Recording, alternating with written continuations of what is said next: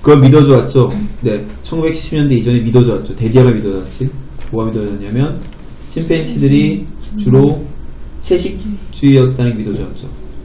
그리고 또 대디아가 믿어져 왔죠. 또 뭐가, 뭐가? 음, 그들은 이따금씩 먹었는데, 작은 동물이나 새를 먹었다는 거지. 그리고 내가 어떻게, 어떻게, 뭐 하지 않았어? 의도적이거나 또는 세계적 체계적으로 죽이진 않은 거죠. 더 큰 동물들을. 뭘 위해? 고기를 위해.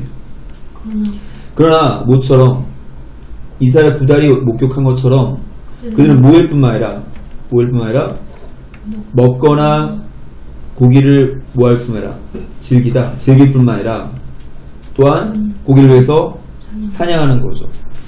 네. 특별히 그들은 사냥하는데 원숭이들을 사용하죠. 근데 원숭이들이 어때? 쉽지 않죠. 뭐하기에 잡기에.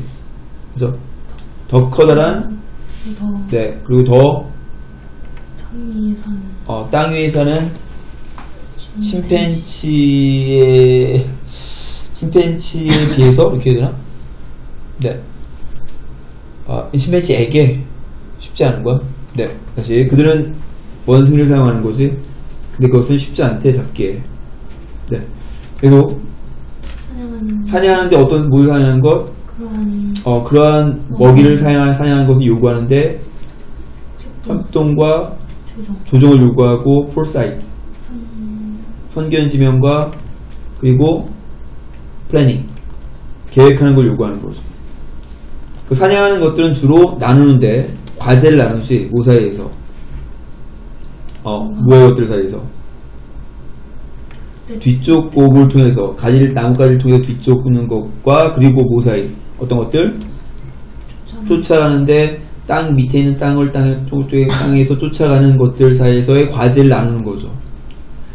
함께 그들은 노력하는데 뭘 노력해? 먹이를 스티어 조정 조종하려 노력하죠. 어디로?